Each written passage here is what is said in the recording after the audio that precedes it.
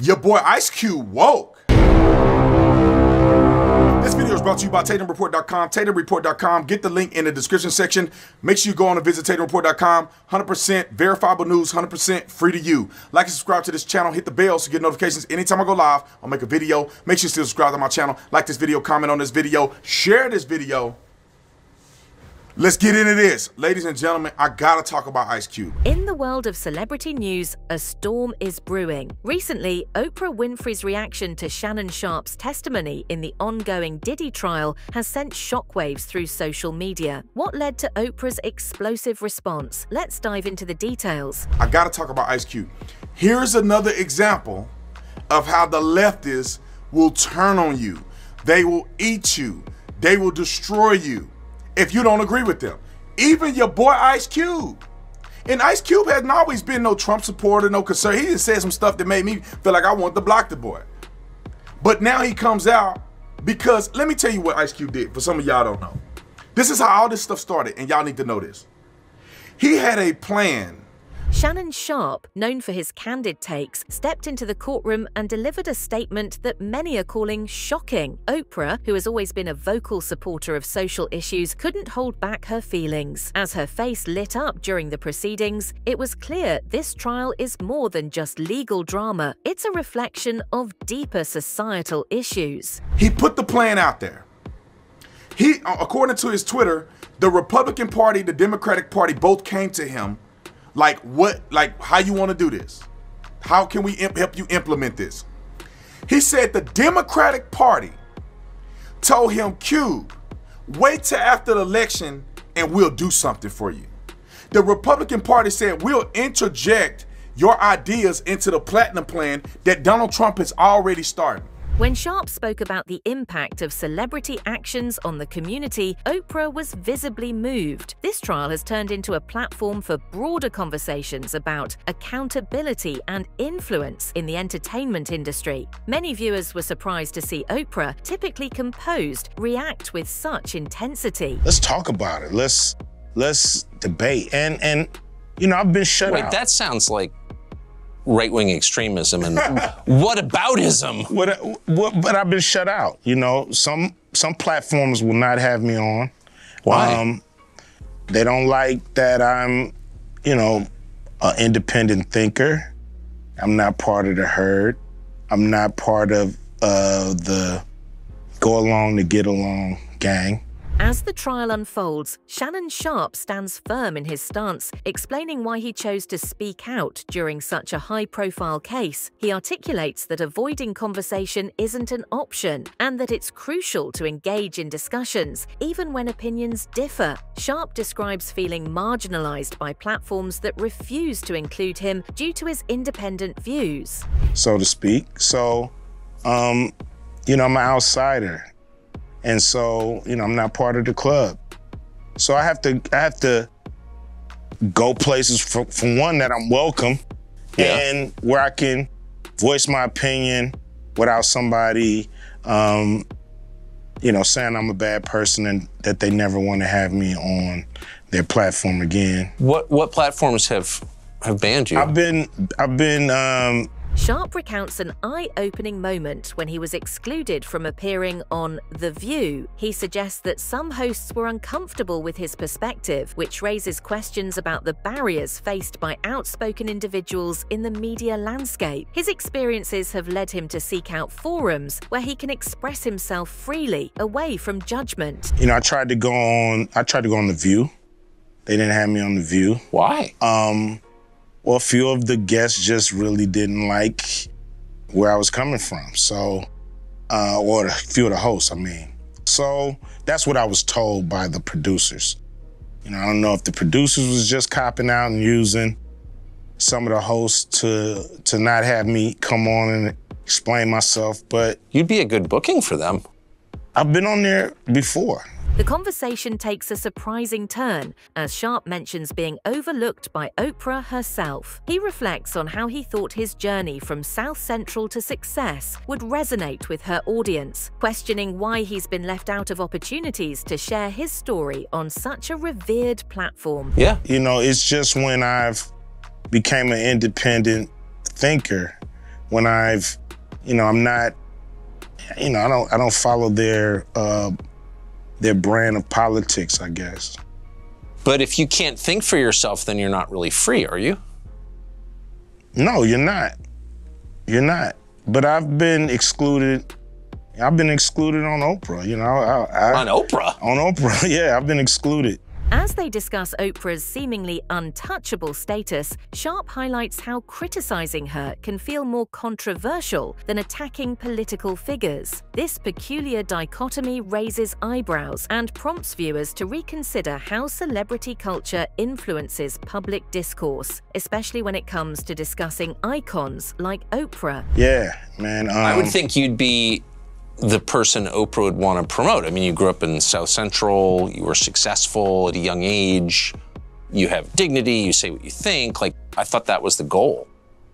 Me too. You know, I don't know what it is, but you know, several of my, you know, I had a movie called Barbershop. You know, Yeah, um, I remember. that that I wasn't invited to participate with the cast. I uh, produced a show called uh, Black White.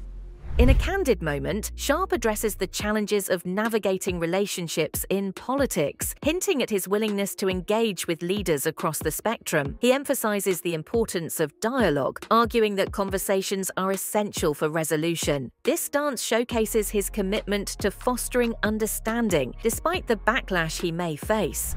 uh, and it was it was a very controversial show. And um, once again, they had the whole cast on, but I wasn't invited, and so I don't know. I don't know what that's on Oprah yeah, show. Yeah, so I don't know what that's. Uh, but really- Oprah's obviously a saintly, godlike figure who's revered by all decent people. Why would she exclude you? I really don't know.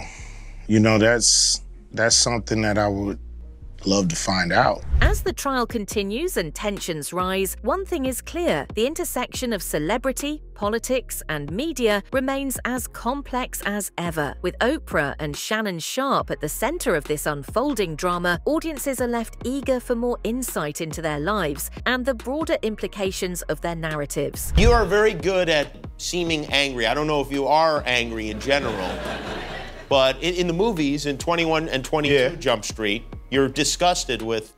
I mean, Jonah Hill and Channing Tatum, wouldn't they piss you off? So I thought it would be fun if I gave you, I give you some lines. Now these are not lines that you you you would not classify these lines as your typical like kind of angry guy lines. In a courtroom drama that's captivated audiences, Shannon Sharpe's explosive testimony in the Diddy trial has left everyone buzzing. And now, the question on everyone's mind how will Oprah Winfrey respond? Let's dive into the details of this unfolding saga. In fact, they're quite the opposite of that. Okay. And I'll read them to you, and if you act them back to me in your own inimitable way, okay? Okay. You want to do that? Here we go. All right, say these as, as angrily as you can. Lavender body wash makes my pores tingle. Lavender body wash make my pores tingle. As the trial progresses, Sharpe lays bare allegations that have everyone talking. He passionately argues that the truth behind Diddy's actions runs deeper than anyone realizes. His assertion challenges the very fabric of celebrity culture, igniting a fiery debate that's captured Oprah's attention.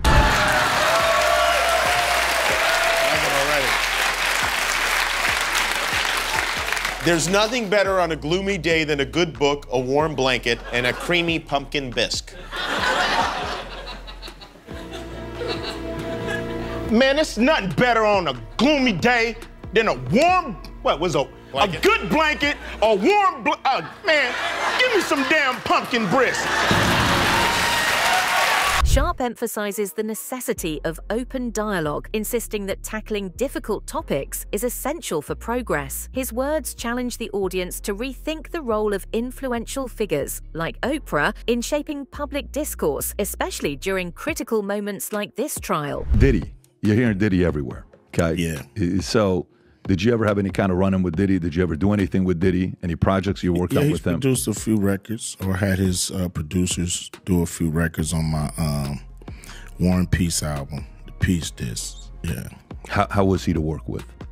It was cool. You know, he uh you know gave us great music. We uh In a stunning turn of events, Shannon Sharpe's testimony in the Diddy trial has sent shockwaves through Hollywood, drawing in none other than Oprah Winfrey. The stakes are high and reactions are explosive. What did Sharpe reveal that has everyone talking? flew out to New York and uh I was mainly in, in the in the studio with the producer. You know, he had a stable of producers, so I was in the studio with his stable of producers, and uh, I think we did some great music. Um, and you know, I really, you know, really, uh, kind of, you know, lost contact with him and, and, and really stopped As the trial unfolds, Sharpe shares his past experiences with Diddy, recalling their collaborations. He reflects on the music they created, but hints at a falling out, revealing he distanced himself from Diddy in the mid 90s. His insight into the complexities of their relationship raises eyebrows about the pressures of the entertainment industry. You know, Shook said, you can say what you want about Diddy, but Diddy didn't learn to like young boys. He learned it from a man named Clive Davis. He threw Clive Davis in there. You, you, it doesn't sound like you're part of that camp. You're part of the camp that you think he's being targeted. you know, I don't I don't know enough to even be able to to um, be specific on any of this stuff. It's just all speculation. As the trial continues, the tension builds. Sharpe's testimony forces everyone to reconsider their perceptions of Diddy. Oprah's reaction is not just about her opinions, it reflects a broader conversation about accountability and the ethics within the entertainment industry. Listen, this is what happened. I say, yo, big, somebody gonna try to come kill us tonight. What caused you to flip on him? Well, you would say flip on him, but I would say let people know what's happening and the truth behind him. Do you think Diddy was uh, an FBI informant? Puff was seeing a federal agent in D.C.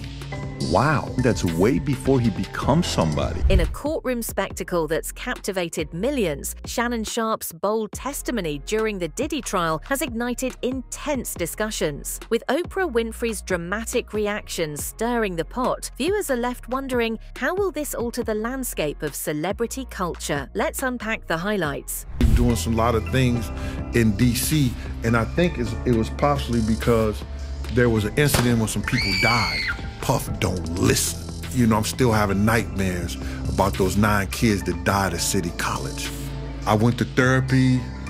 You'll never get over stuff like that. As the trial unfolds, Shannon Sharpe delves deep into the allegations surrounding Diddy, claiming there's more to the story than meets the eye. He articulates how these revelations challenge the very core of celebrity influence, capturing Oprah's attention and sparking a national conversation about accountability. Way before he was famous in the streets of New York, and all of a sudden, you and your crew jump him literally to join a gang. You see him go from being a guy putting the parties, and then all of a sudden gets bigger and bigger and bigger. Then you start seeing him really become a star, then a superstar, and you're there from 1990 to 97 and then you're in the car, you're driving Biggie, and Biggie gets shot. You're there to see what takes place, and you're speaking to him when you're going to the hospital, and you have the conversation with them.